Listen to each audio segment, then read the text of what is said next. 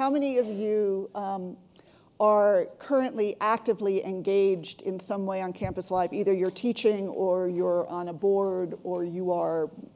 So it's, we have a lot between kids and professors and uh, of direct exposure, which, so I'm very eager for this to be a conversation. I'm, I am fascinated by um, what both John and Frank have written on this subject over the years and really eager to interrogate them. But then I, I want this to be a conversation um, amongst all of us. Um, uh, Frank Bruni, as you know, is uh, an op-ed columnist at the New York Times, where he has he has held one of my favorite arrays of jobs, from you know Rome bureau chief and restaurant critic and covering the Bush White House. It's just a fantastic set of of assignments.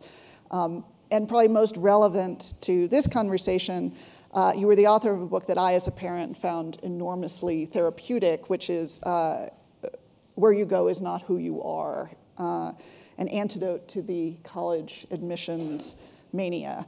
Um, so that's a very relevant piece of this. And John McWhorter is an associate professor of English and comparative literature at Columbia, and I'm very proud to say also a, a columnist for Time and for CNN and for Slate, and a podcaster at Slate, the Lexicon Valley uh, podcast.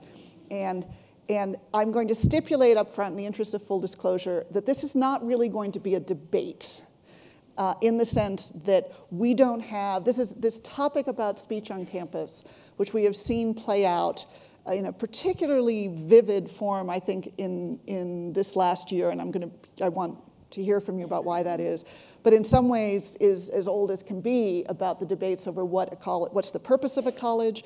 Is it a laboratory where students get to test ideas and ideals? Is it a place where um, where they are prepared for the world beyond or protected from it. Uh, I think it's, we're at this moment where the very notion of what is the purpose of a university education and what that atmosphere and climate should be uh, is under review and arguably under assault. And so that is so important, not only to those of us, as I do, who have kids in college, but those of us who are employing the kids who are coming out of college, and, and all of us as citizens of what kind of a, of a broader national conversation are we going to be having? Are we going to have permission? So we are going to start on campus, but I also want us to move beyond the campus. But just to lay the groundwork, can each of you give me your sense of how it is we got here, got to this place where, where speech itself becomes a form of violence and violence is used to prevent and shut down speech. How did, what happened that we got here? John, why don't you take a crack at that? Um, I think that the spark for the current situation is perhaps more mundane than we'd like to think. I don't think that it's that for some reason everybody went crazy. I don't think that it's because of the president that we happen to have in office. I think that it's social media. Social media, especially when you have it in your pocket, especially in the form of the iPhone, allows bubbles of consensus to come together in such a way that you can whip people up in a way that was not possible a generation before or even 10 years before. Also, it's a medium that's not only about words, but pictures and moving pictures. And that is more viscerally stirring than the pamphlets and that thing called the physical newspaper from the past. And so I think it's inevitable that with the rise of social media, you would have this assault on free speech on campuses in the same way as I don't think there would have been a Tea Party if it weren't for Twitter and Facebook taking off in 2009. I don't think that it was Obama as the key factor. It was the fact that that kind of sentiment could be whipped up to such an extent by these toys that it's easy to forget now what it was like when they didn't exist. So that's what I think the beginning of this was. And it's why it scares me because social media obviously is not going away. Frank? I, I agree entirely with that. I, I want to say one thing, though, if we can just back up for a second, because I think before we kind of light into what's going on and talk about it, it's important to remember we are talking about a minority of students on campus. Um, and we're talking about a minority of events that actually turn violent. I mean, there's been plenty of protest of speech, of speech and that sort of thing.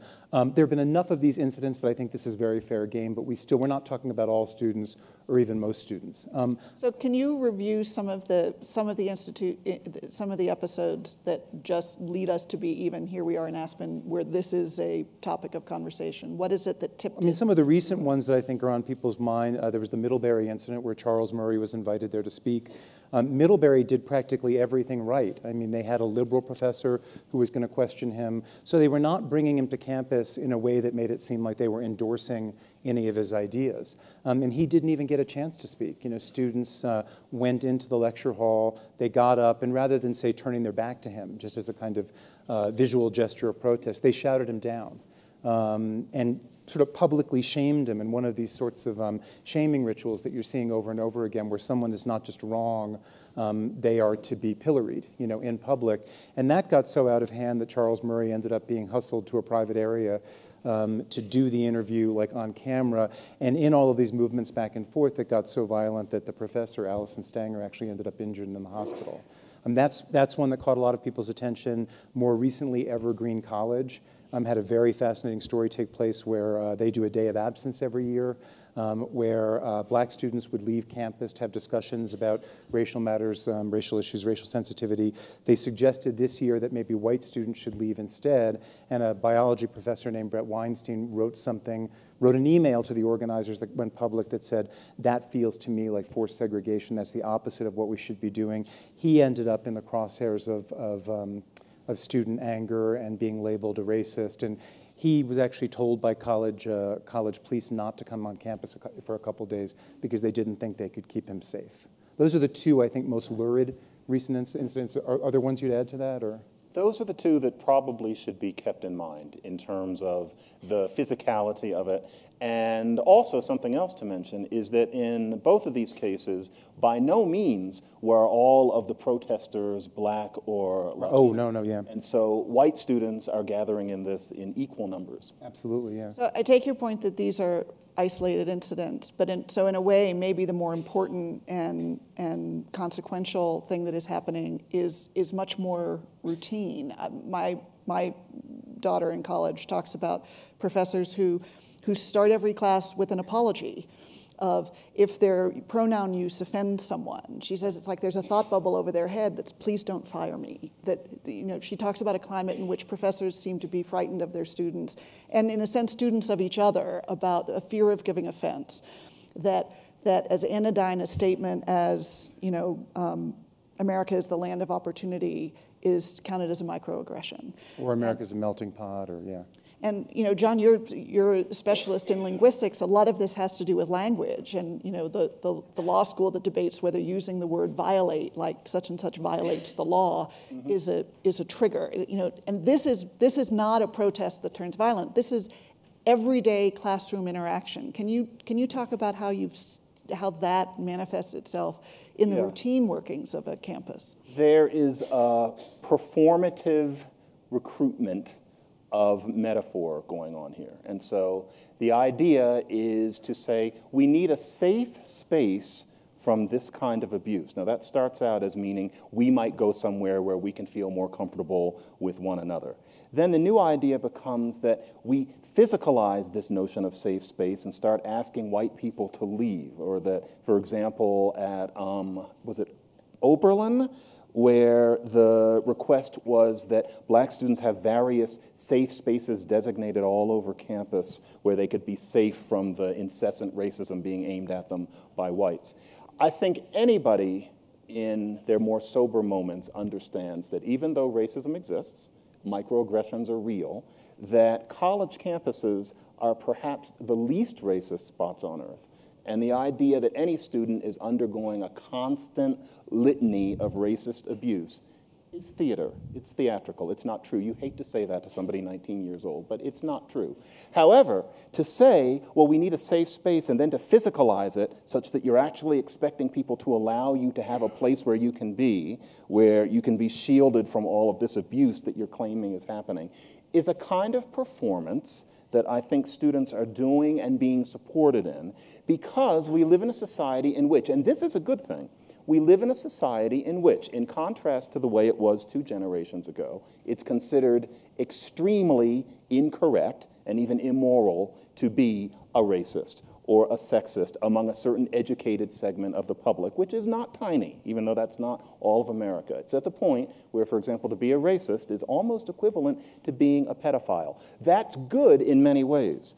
But this new movement takes the idea that you're supposed to show that you're not a racist, or even that you're supposed to be sniffing out evidence of racism everywhere to give yourself a sense of legitimacy in society, into a place where language is being abused, because the actual safe space is something that isn't necessary and ends up abusing, you could argue, the people who are not black or Latino. And then when it gets to the point that a speaker comes to campus, and the idea is not that you protest the speaker, which is what we did when I was in college in the 80s, but that the speaker is not allowed to pollute the space with their words. Again, that's interesting, but it's theater. One thinks almost of Brecht when people are doing things like this. This is not the way usual sociopolitics happens. And it needs to be called out, I think. And that's tough because we're talking about behavior of people who are under 22. But it serves no purpose, as I think we've been able to see.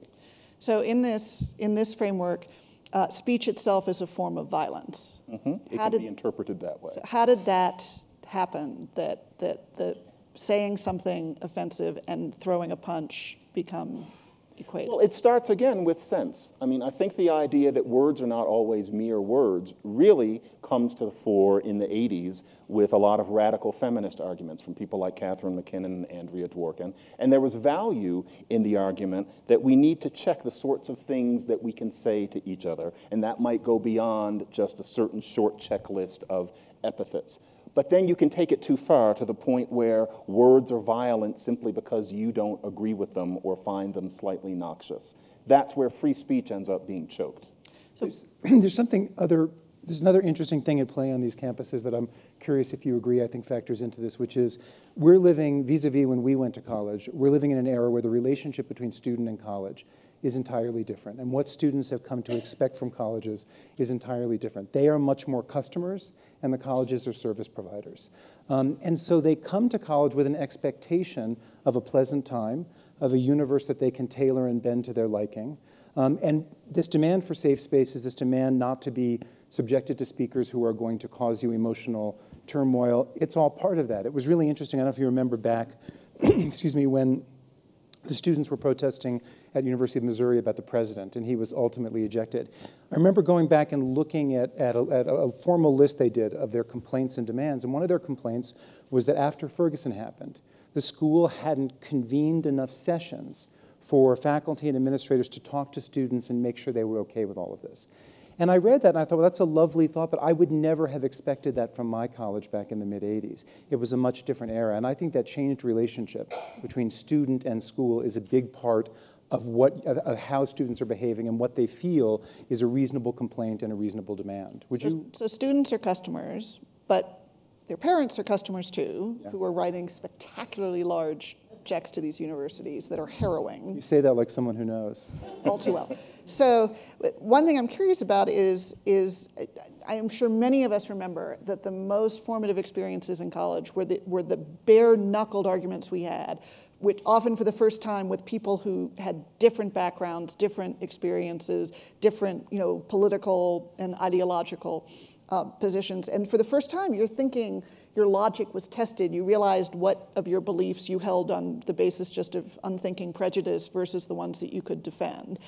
If you're, if you're a parent and this is the experience you want your child to have in shaping their, their intellect and their instincts, and, and, and they are not having it, where is the, where is the push, where are the adults in this conversation? Either the parents who are paying the bills or the alumni, or for that matter, the faculty who are, are the ones in some cases being driven out, like Professor Weinstein. Or, why are they not a counterforce to these, these trends that you're talking about? Well, I think luckily, in some ways, the problem is less large than we might think, in that, as Frank said, we're talking about a minority of students. What I've seen as a professor myself in classes, it went up very sharply after about 2013, is that it's a certain kind of student and you only need about two of them in a class. And that will scare everybody else except maybe one person who's invariably male, I'm not sure why, who is really up for a fight. But that's not most students. And so it ends up taming discussion in a way that has really dismayed me. But So all students are affected, even if only a small minority are. affected. But the point is that most parents would not want things to be this way, especially because most students wouldn't want things to be this way. I have lost count of how many students I've had in the past about three semesters, including many who were sobbing that Hillary Clinton did not become president. These are people on the left who are upset that they can't speak out in class or in the dormitory. I had two students who didn't write senior theses on really rather anodyne topics because they were afraid that in thesis seminar in American studies, they would get their heads ripped off for some of the conclusions they were coming to about things that nobody would have batted an eye at 10 years ago. It really is, is that bad. Parents should speak out more because unfortunately administrators aren't doing it. The administrators basically want to just keep everything quiet to keep the funds coming in. Pa- pa- parents in this day and age, because college has become more vocational and because the economy feels more uncertain, the future feels more uncertain, they want to know one thing for the, from the college. They want to know, are you going to have, are you going to prepare my kid, put my kid on a trajectory where he or she has a job coming out? And they're Isn't not. this exactly the, the thing, therefore, they should be worried Yeah, about? but they're not looking at the, the sort of larger intellectual matters, and schools are failing students. I went and spoke at a, at a liberal arts college in the Northeast that I think was not unusual, but quite usual. And I remember at a dinner afterward at the president's house, you know, where they were sort of filling me on the school. We were at a table, various faculty members, administrators were going around the table talking about um, particular points of pride about the school. And I heard over and over again different aspects of diversity. You know, we are the most welcoming to trans students. We are the most welcoming to international students. We are the most welcoming to African American. On and on. And this was a continued theme. We got to the end of the table and they said, "Do you have any questions?" And they told me about all of the different affinity groups um, and, and and those sorts of things they had. And I said, "Is there a Republican?" Group on campus? Is there a student Republican? And they all looked, they were shocked at the question, and the answer was no. But they were surprised to get the question because that's how intellectually homogenous so many campuses have become. So you have written that this is about emotional coddling, intellectual impoverishment, and that students have been done a terrible disservice. So uh, assuming that the adults in the room, whether parents or teachers or administrators, are, are not looking to ill-serve these students, what what is the damage being done? What is the, the argument that this is rather far from protecting them, that this is something that is damaging to them? I um, grew up as a, as a fact brat of sorts, and I remember asking my mother when I was around nine what the point of college was. Even at that age, I thought some people leave after high school, then some people go to this thing called college. And even then, it looked kind of freewheeling from what I could see. And I asked her once, what is the point of that extra four years? And she said that the difference is not necessarily that people who've graduated from college know more facts, but they have learned that life is complex and that any issue that is worth talking about is one where easy conclusions are going to be elusive, that the answer is not just going to be to snap your fingers and say, well, that's been figured out, that you acquire a sense of horizons.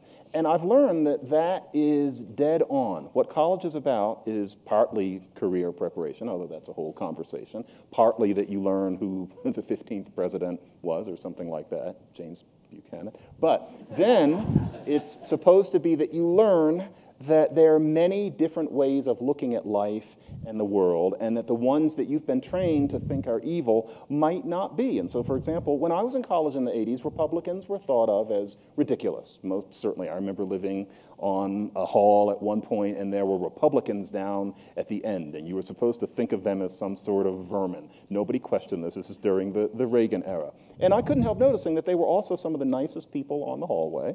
And over the years, I learned I'm not a Republican, but I can see how you can be one and have a coherent worldview. And it happened from listening to them and eating lunch with them, et cetera. And now they're in my swimming pools, et cetera. That is an experience that I don't think that students are having as much these days. And that means that the education is failing them. They're thinking that life is much simpler than it is. They're not learning how to think. I think what you said about, um, I think they're not learning how morally complicated the world can be. Exactly. You know, and um, it was fascinating to me after Trump won the election, um, and maybe this was selective media reporting, but we read so much about schools at which classes were canceled because students were so upset, schools that set up sort of essentially group therapy sessions for students to be consoled. I didn't read about a single school that convened groups to talk about why it happened and who the people who voted for Trump were and why they maybe were so attracted to him. That latter thing would have been true education. The former thing is just handholding they're being given the impression they can go out into the world. And when their feelings are hurt, there's going to be someone to say, You're right, that was terrible, let me console you. That's not the way the adult world works. And, and I think we're producing very, very fragile graduates. I, I remember um, something was said to me once by someone at Pomona about the students he was encountering. I was asking him if they were unbelievable rock stars in this era of declining acceptance rates. And he said, Well, you know, some of them are. He said, But here's what really strikes me these, these students are stunningly fragile. They've lived these lives in bubble wrap. Um, they see the world in very simple ways, and he worried about what would happen to them when they went out beyond Pomona.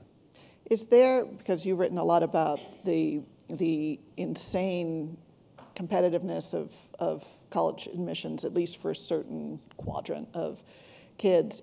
Is there a connection between what has happened in the college admissions space with this? Yes. Phenomenon? What's the? Yes, schools are being judged by their admission rates, so they're trying to get them lower. So they are trying to build up the gleaming facilities. They are totally focused on the customer experience, so they'll get more applicants so their acceptance rates will plunge and so that they will rise in the marketplace. And if you want more and more students applying to your school so that you can have the cachet of that really low acceptance rate, you need to create an experience for them that is not provocative, but that is enjoyable. Um, the most weaponized word of the moment is privilege. Mm-hmm. Can you talk about privilege and how it has come to be seen and deployed? The, the whole white privilege paradigm is very interesting because I think that it should be part of an education for students to learn that there is something that we now, now title it white privilege, that's fine, and that these are things that must be considered, such that a student wouldn't look at, say, a disadvantaged part of the city and just say, well, what's wrong with them? The idea is to understand that a lot of what the person sees is because people start out at different places and that whiteness is a privilege. However, once again, our problem these days is that it's being taken into a direction that's less constructive. The idea is not that people can learn that there is white privilege and be considered to have learned it and then learn some other things. The idea is that you are to learn that you are a privileged white person, you are to learn it over and over, and that really what you're supposed to learn is to feel guilty about it and to express that on a regular basis, understanding that at no point in your entire lifetime will you ever be a morally legitimate person because you have this privilege. In other words, it becomes a kind of Christian teaching, and it seems to only serve a certain purpose. And I hate to say this, and I don't mean to hurt anybody's feelings. For white people, it is a great way to show that you understand that racism is real. For black people and Latino people, it is a great way to assuage how bad a self image a race can have after hundreds of years of torture. I can't speak for Latinos there, but certainly for black Americans. It ends up being a kind of a security blanket. I don't think that either one of those things takes students anywhere. To be a black student who learns that their purpose, that something that's special about them is that they can make a loud noise and make white people guilty. I don't think that's an education. And quite honestly, I think that if a white person feels that constantly attesting to their privilege, constantly attesting that they still have things to learn without specifying exactly what more it is that they have to learn, is somehow constructive, I suggest that that be re examined. White privilege is something that you can learn and know, and that's it. Now, I'm not a utopianist. I feel that life only gets so good in complex societies of human beings. I think that a lot of what we're talking about is a political vision which is highly idealist. There is an argument for it. I have heard it very articulately defended, but it's hardly the only way to look at how a society can be. We're losing that kind of flexibility in the way we talk about these things on college campuses. I have to share an email I got because, to your point, uh, after I wrote about Evergreen, um, I got some emails from people involved with the school, connected with the school, and this one gentleman who I think, um, a white, white gentleman, because um, his picture was visible in like, you know, his return email or whatever.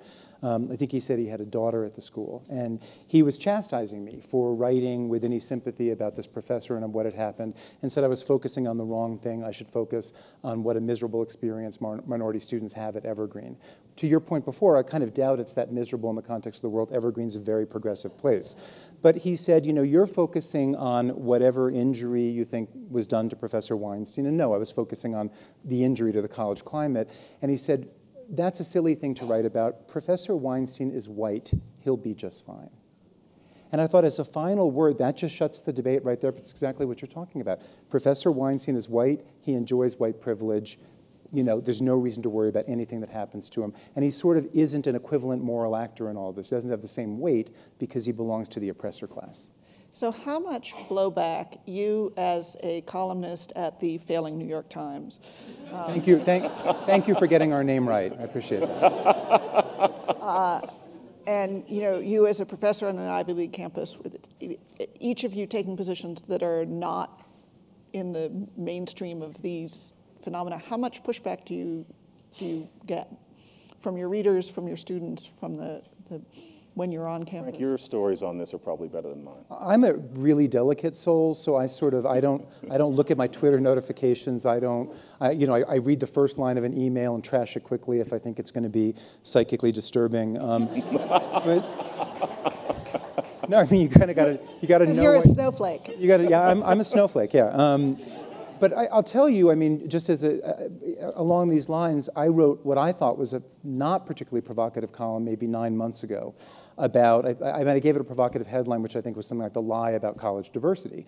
And what I was talking about, and it's part of this phenomenon we're talking about now, was how um, colleges, you know, made a lot of noise and made a lot of sort of at least cosmetic effort um, to assemble these diverse student bodies. But then once people got to campus, made almost no effort to make sure people, diverse groups of people were acting in diverse ways. So, you know, you could go into X affinity group, you could live in a very kind of carefully chosen environment, and on this diverse campus, you could hang with a very particular tribe and no one else. Um, and in the course of that, I questioned uh, the wisdom of affinity groups. And I, several emails did make their way to me where um, people on Twitter were saying, I had no idea Frank Bruni was such a racist which is part of this is the, is the term racist is thrown around. Um, with alarming alacrity right now. And I mean, in, in, in, going over some of the incidents that bring us to this panel today, I was looking back to what happened at Claremont McKenna College recently to Heather Mac Donald, who wrote a book questioning whether the Ferguson effect you know, was um, you know, questioning, make, asking pointed questions about Black Lives Matter, but then again, Donna Brazile has asked pointed questions about Black Lives Matter. She was labeled in student discussions at Claremont as, as a white supremacist fascist. That's a long way to go from what she, from the question she raised. She's a conservative, but, but in a lot of circles these days, that equals white supremacist fascist. I would say that um, I do read my Twitter notifications, and um, I find that as my little theme today has been that this is a fringe minority view. However, it's this spinning buzzsaw blade that ordinary people want to avoid, and so it silences people. But I hear from the occasional person who doesn't like my views about things like this. They're students who don't like my views about things like this. Most people are not natively confrontational. I don't have anybody coming and yelling at me in my office. They just would never take my courses. But when I do hear from somebody who doesn't approve of my views on things like this. What I am called is a white supremacist. I am a white supremacist in line with people like Bilbo and Bull Connor. Yeah, that's, that's me. And of course, that is an utterly athletic, recreational use of the term. You could go through everything that I've written over 20 years, and you would find nothing that advocated anything that somebody 20 years ago would have recognized as white supremacist. The word is being used as a battering ram. And battering rams are big and crude. Think of something like on the Flintstones. And we're being taught that that is higher wisdom. It simply isn't. And so this needs to be called out. I don't care who calls me names, but to the extent that on college campuses, students are becoming these unquestioning people who think that issues are much easier than they are, something needs to be said more loudly than just people like Frank and I writing editorials. But college administrators and many college professors are quite craven about this sort of thing. Wasn't tenure supposed to protect them from being scared of their students?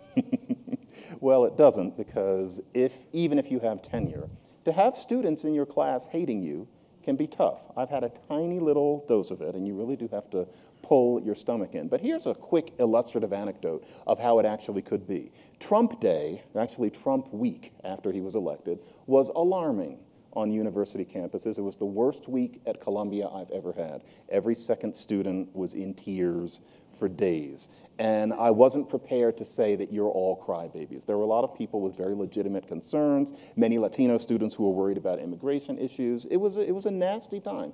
And I walked into my introduction to linguistics class, 150 students, and you know, so many people were crying. So many people had their heads down on their desks that one of my TAs came up and said, Professor McWhorter, I don't think you're going to be able to teach today. It's been requested that you conduct a session where you talk to the students about what's going on. And that was true. There was no way I was going to talk about intransitive verbs that day. but I did get up and I told them, you know what? You may have been told by a lot of your other professors that what you need to take from what happened this week is that the country is full of racists and that you should hate all of the people, quote unquote, out there. And I said, I'm not going to give you that. I said, I've known many of the sorts of people who voted for Trump, and they were not racists in any sense of the word that makes any sense among people who are using language properly. I said, what we're going to use this session for is we're going to talk about why these people voted that way and we're not going to call them racist. We're going to try to figure out what led them to vote for somebody like this and how we could avoid it happening again. The students liked that. I was not revolted against for doing that. If there were one or two who thought that I was no good for not calling out white privilege and that therefore that made me a white supremacist that day, they didn't say anything to me and, and life went on. The, now, I'm not trying to make myself a hero. I'm sure there were other professors who did that, but that needs to be the model. I think it would be more okay than many of our college presidents seem to think. How many other professors, though, yeah. How many other professors at other schools do you think did what you did, though? I don't know. What's your, what's your guess? What's your guess? Few. I wasn't trying to make myself sound like a hero, but I'll bet it was an infinitesimal number. Right. But I think that they needn't worry because life isn't quite as hard as they seem to think. Frank, do you think this debate is damaging to liberalism? Oh, yeah, absolutely. Because it, it, turns liberalism into illiberalism. People see it that way. I mean, there are still, I mean, we, we, we pretend they don't exist. There are still kind of people in the center, for lack of a better word. And they watch the way various poles, various sides comport themselves, and I think they draw conclusions from it. Um, and I don't think liberals look liberal, liberal at all in this way. They look utterly illiberal. I also think all of those of us who are adults bear something to bear, bear some blame here, and we need to think about it. The message I assume students in college, and I'd be curious for your take on this, the message I think they get from the bitter, bitter tribalism of our politics, and, and from the way various partisans talk to and about each other, is that it is okay to be strident.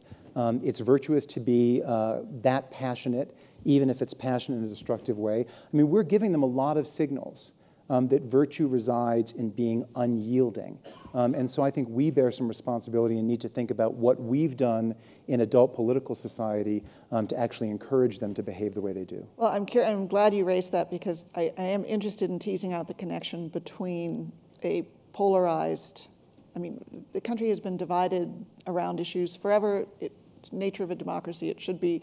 But there's a difference between, you know, I disagree with you, I think you're wrong. And I think and you're evil. You're a bad person. Yeah. Mm-hmm. So what is the connection between this climate of, of demonization broadly and what we're talking about? Well, Nancy, I might, I might be wrong about this, but the idea that not only do I disagree with you, but you're a bad person, that specifically might not be what's new because that was how people were having conversations on the Upper West Side in living rooms during Nixon, for example. It wasn't only, I disagree with you about Nixon, it was, you're a bad person, and Archie Bunker yeah, and that's, Maude. That's the Upper West. I live on the Upper West Side. That's, you know, we're, we're not a focus there. group. We're not a focus group, yeah. Right. I, I think. I think that more specifically, the problem is you're a bad person and you should not speak at all. That's the new thing. The idea being you can't express your view at all. Or something I've seen is somebody says something Republican in that living room, and a certain kind of person, a grown up, says, I can't listen to this, and walks off into the study. I can't hear it. Well, why? What's, what's going to happen to you? Whereas that person's mother would have just battled, battled it out over her what cold duck or whatever they were drinking in that living room at the time. Today, the idea is that you, my parents drank that. Today, the idea is that you, you walk out of the room. You can't hear it because the space isn't safe. That's a theatrical gesture. It should be used for auditions. That's what the problem is, I think, today. So But we I think just, we do, we do attribute more evil to the other side than we did in the past. I mean, if you can believe, you know, I mean, it's hard to know whether people's answers in public opinion surveys, whether they kind of know themselves well. But I mean, there have been some that have shown that 50 years ago, if you asked people, if you ask Democrats, if you ask Republicans, would it bother you if your child married outside the party, you know, like the faith?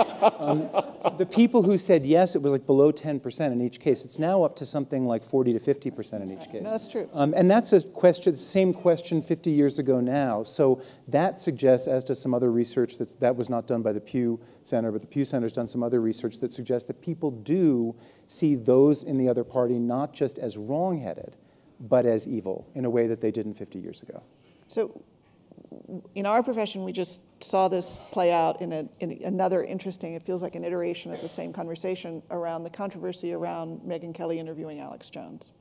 And, and the, for those of you, if you didn't follow this, uh, Alex Jones, as a proponent of a number of conspiracy theories, but the one that was most relevant here, partly because the interview was going to air on Father's Day, was uh, saying that the, the Sandy Hook massacre never happened. And for the, for the Newtown parents who made the case that to give him a platform, someone who has, who has uh, promoted such a pernicious theory, was so acutely painful to them that he should not be given this, this even, even if it is to criticize him, to challenge him, that it is just too big a source of pain to give him this platform. It feels to me like there are a lot of plumb lines between that argument and the one that we're having on campuses. How did you, how did you see that playing out? Well, I mean, that, that one I think is all about the way it's executed. First of all, Alex Jones, the idea that she was giving him a platform and exposing ideas that were hidden until that point to the world is ludicrous because Alex Jones was plenty out there and most people knew about it. Um, and then it boils down to okay, bring him in, but how do you, how do you then comport yourself? How do you grill him? How do you deal with him? And I think we'll never see the whole footage of how that went down because as that got rolled out and caused such a ruckus, I think a lot of work was done in the editing room to make sure that seemed like the toughest interrogation possible. In the end, that worked out well, I think, because he was not allowed to just sit there, you know, and spread crazy crackpot theories. He was held accountable for them. Um, and, and I, but I think, so I think it's important. I think in the end that worked out well. Um, but it would have been different if she had been having someone in for an interview whose ideas weren't already out there as much as his were. That's how I feel about it. There's a little bit of the safe space ideology there too, though, and I would, um, I'm exempting the parents who had to go through that horror. I often thought about how they must feel.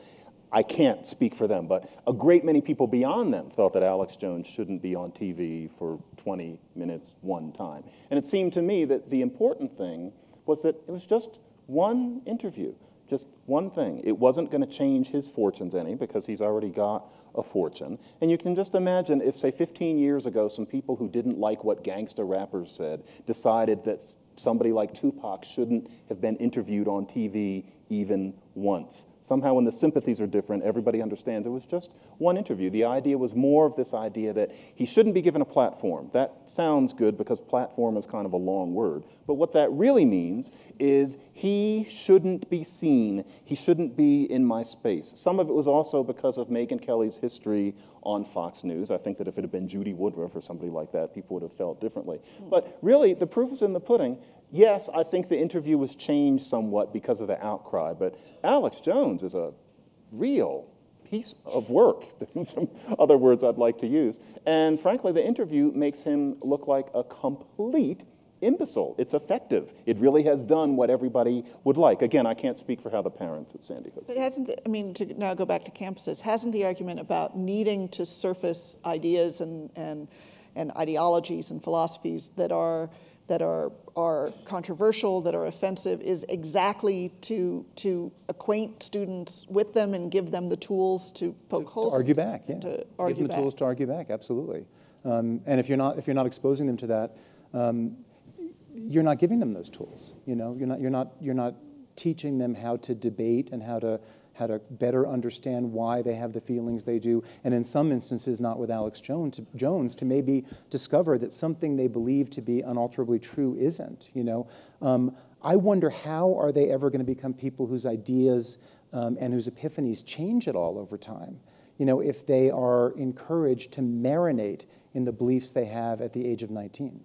I remember when I was in college, there was this um, pastor, Pastor Jed Smock, who used to come to campus every autumn and preach. He was against, he didn't like gay people. I don't remember him saying anything about black people, but maybe I just didn't stand there long enough. Just hated everything. His wife looked like something out of a daguerreotype, standing always behind him and never saying anything. Just an utterly disgusting man. And it was a sport that any sensible person would surround him and yell at him all day. So you would stand and you'd listen to this person spouting all this nonsense, and then you'd hear all the counter arguments. I learned all sorts of things. Nobody chased Jed off of the campus, and he's still he's still around today and doing the same thing to ever decreasing effect. But today he would be physically chased off of the campus and smacked on the behind. I don't see that as an improvement. You, you also, these students aren't making these ideas and these speakers go away in any real sense. They're just, they're just protecting themselves and purging their environment. But it doesn't, it When does. Berkeley blocks Ann Coulter, it's not as though. Yeah, but Ann it doesn't make that doesn't viewpoint, that ideology, that tribe go away. In fact, it's more likely, you know, to encourage it. So this is my last question, and then I want to throw open to the room, so prepare your questions. But I had reporters covering this campaign who, who, who came away from their travels and their interviews, particularly with Trump voters and at his rallies, thinking that, okay, economic issues and issues of globalism were important, but the cultural issues, and not the traditional cultural issues of social conservative issues, but cultural issues specifically about political correctness and what is and is not permissible to say and think, were the critical factor in driving a lot of people in their vote. Do you think that that is the case? Um, I, I don't know if they were the critical, I don't know if we'll ever be able to apportion this stuff. It was definitely a factor. Um, I think if you, if you talk to people like that, I saw it in my own family, a lot of people felt that their, their language was being policed. They weren't even able to kind of work through their feelings publicly and verbally about things because if they tripped across the wrong word, they would be shamed. And I kept thinking during that, like, you know, we now throw around not just the word racist, but the word homophobe, you know, very, very liberally. When you're throwing that around to a 65 year old Southern Baptist woman in Mississippi, let us not forget that just a few years ago, Barack Obama was not formally for same sex marriage, neither was Hillary Clinton. And now, you know, in, in, in the blink of an eye, we are branding people homophobes because they're not they're not on board. Um, that's just so unrealistic and ridiculous. And I think some of the Trump voters saw that and they just felt very oppressed by a world in which, if they don't think in what a certain camp of people have determined is the virtuous, correct way, and don't speak in the virtuous, correct way, Which is constantly way- changing. right? Which has changed really quickly, and and you know, there's not much forgiveness. I think they felt a need to sort of rebel against that, and Trump was, for some of them, the vessel of that rebellion. That's right. All right. Wow. Okay, I'm going to let, because the lights are blinding and the microphones are, are essential, so why don't we start over, start over here? Thank you.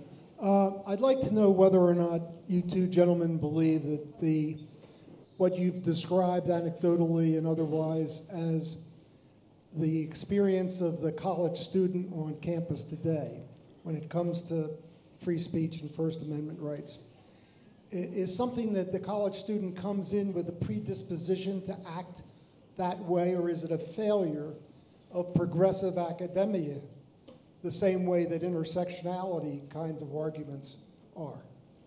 You mean, do, is there a certain kind of freshman who comes in primed to behave this way, or is it that they learn it on campus? That they've already, that they, do you believe that they have already come into college with a predisposition to behave the way that you were rightfully critical of? Yeah. Or is it or is it a failure of progressive academia in having the kind of discussion that you're having today and teaching them that concepts such as, I like to use intersectionality as one of them because it has a particular meaning for me, but that that's not a legitimate concept. Um, they come with it baked in already, I think, because of the nature of social media.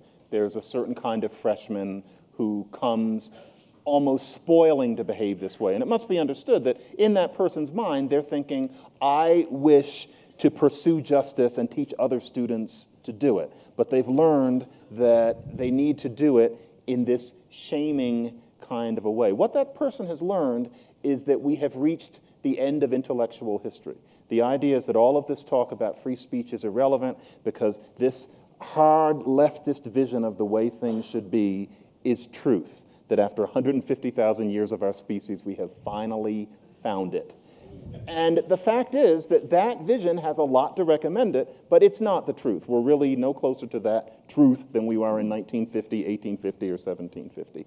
They don't know that because they've been taught otherwise. And there's a kind of professor I'm not aware of any professor who teaches students to get out into the streets and to, you know, try to assault Heather Mac Donald, et cetera. But there are professors who do teach this kind of social justice warrior ideology as, by not teaching anything else, truth. I've seen students come out of classes like that. They don't know. I don't hate the students. I completely understand what it must be like in their heads, but they need to be gently taught out of this new fashion. You want it on this side? Uh, I want to qualify one quick thing, which is uh, my college is awful on this issue. But I happen to live in Chicago, and the president of the University of Chicago, a very fine university, put out a policy piece on just this, where he talked about the fact that the University of Chicago would not coddle these people. It's my understanding that he thought other college presidents would follow suit. None, No. none, to my knowledge, did. Uh, But if you think that this, and I know the topic is about what goes on in college campuses, but if you think that's the only place, you're kidding yourself. We have a situation in Chicago now where a theater critic wrote a, a, a critical piece uh, of a play, and the racist thing she said was something to the effect that one of the characters uh, was a, a oh, he was a white policeman, but he was a, no, no, no, but he, he it was a prototype of what, you know, that sort of person is. And uh, a group, a, a shadowy group has now gone out and is insisting that every um, theater, and we have about 200 theaters in Chicago, that every theater ban her from uh, coming in and reviewing. Now, they can't stop her from coming, but they said they would no longer give her tickets. So, um, this, and these are people who are postgraduates.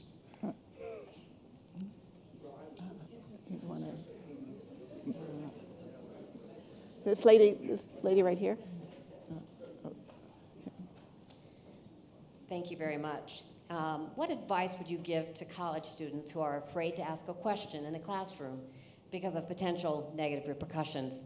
And I would also say this does not just uh, exist in colleges, it also exists in high school. Huh. Do you want to take that one? You know, I can't make students responsible for that. Talk about utopianism. Most people are not up for a fight. If most people were hardwired for that kind of battle, we couldn't have a society. And so I'm thinking of this ordinary college student who is thoroughly intelligent but doesn't want to have her head ripped off, who just keeps quiet. I can't tell her, speak up and have your head ripped off and get called a racist and, buck up. I think that it's these students whose behavior needs, needs to change. Most people aren't up for being savaged. Well, I mean, maybe, I mean, you tell me because you teach, but maybe, you know, we have professors who do, and not, not quite to the extent that the media has portrayed it. We've exaggerated it somewhat. But we do have professors that get up and give, you know, those fabled trigger warnings. Um, why shouldn't professors, why shouldn't we now ask professors, because of what we're talking about today, to get up at the beginning of the semester of a class and make clear this classroom is a safe space for all kinds of opinions and discussions. There are no dumb questions. There are no forbidden ideologies because we're all going to learn a whole lot more from that. And can we all agree that we're going to appreciate having that sort of discussion here and that no one's going to engage in any shaming? That might do some help. There are also things that some college presidents and administrators are exploring outside the classroom that I think are interesting to try to get students to interact in a more ideologically diverse way than they are. Um, so at, uh, David, at Davidson College, um, they, I think, have financial incentives for different student groups from different areas to actually hold social events together. At Denison College, they've actually uh, had discussions and explored ways to organize buildings and assign spaces on campus so that there's more physical interaction between people who might not otherwise have it. I think those are all very interesting things to explore that would send a strong signal that might create a world in a couple of years where that student isn't abashed about standing up and saying, you know, something that all of her or his, his or her peers aren't immediately going to agree with. Thank you. Just a fast question. I've never heard of white privilege. I've never heard the term. And I'm, and I, I, under the fact that we now had Mr. Obama, many people of color in Congress shouldn't that whole concept be passe? Which concept? Of white privilege. Shouldn't it be just like your father's Oldsmobile is No. passed? No, I, I, I wish that it could be. But no, it's certainly true that if you are born white, you have a greater chance of success than if you are born black. It doesn't mean that being born black is a sentence to poverty and despair. It doesn't mean that there aren't, and this is now very much in the conversation, a great many white people who are suffering. But the whole white privilege idea, I mean, it used to be called societal racism or institutional racism. The term started to weaken, and so we now say white privilege because it grabs people more by the collar, so I'll use it. White privilege is real, yeah.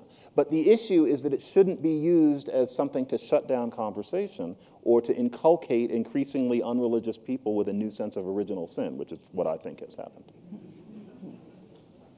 On this side. Uh, Would both of you comment on the uh, rise of anti-Semitism on the campuses and how the pressure groups are trying to get the boards of trustees and directors to withdraw their financial support in anything that's related to Israel? That's nasty. Um, I've, some of the worst scenes I've seen in classes of my own and other classes have been students in battle over those issues and in general on Columbia's campus. In terms of what the prospect is of those calls for defunding, it seems to me unlikely. However, the fact that they've even been made and that social media magnifies these things is part of the environment that we're in.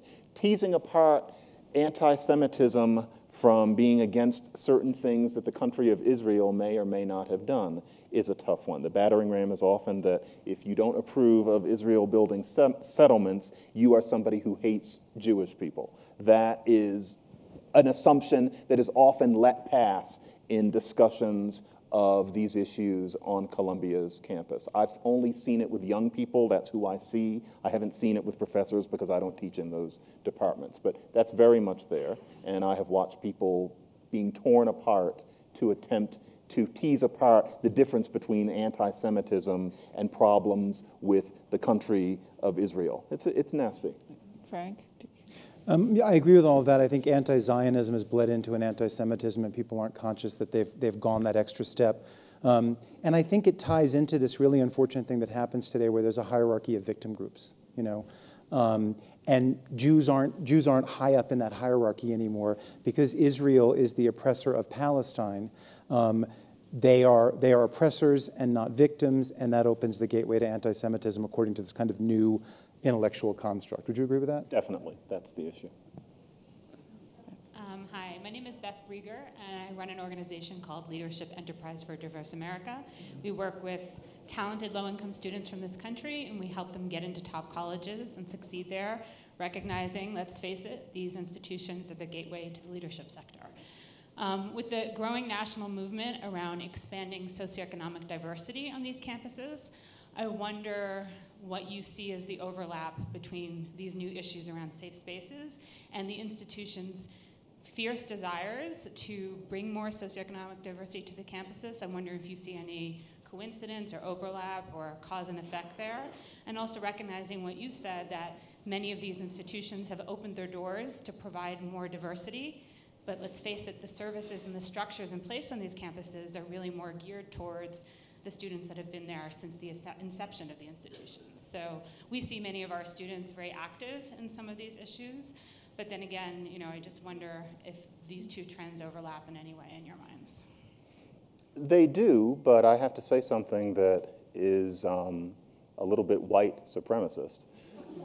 I feel that preferences and affirmative action should be maintained for a very long time, but that about 15 years ago, it was time to change the entire policy to be focused on socioeconomics, even though that would probably, on many campuses, let in more poor white people than brown.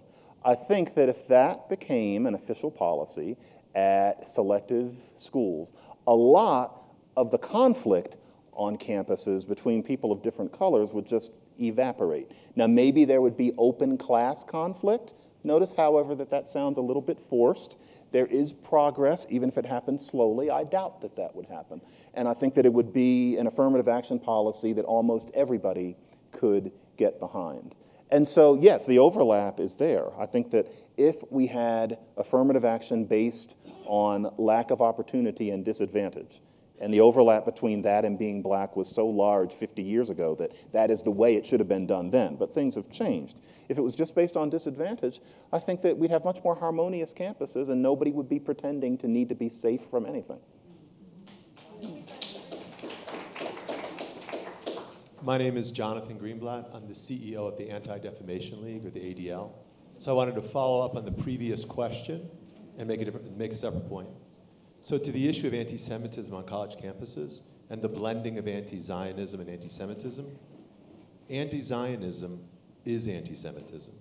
Unless you oppose all forms of nationalism for all people, opposing self determination for Jews is anti Semitism, whether by intent or by consequence. And we see examples on college campuses across the country where pro Israel or Israeli speakers are shouted down are forced out of rooms, are not permitted to speak simply because of their nationality. And that's just wrong. Now, on the other hand, I also want to make a point about this notion of white supremacy. And there was a comment made earlier about it.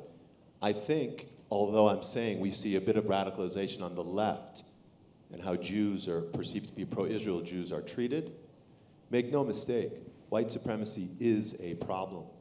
And one of the things that we see happening are white supremacists, for the first time, actively recruiting at colleges and universities, trying to take advantage or exploit this backlash against political correctness.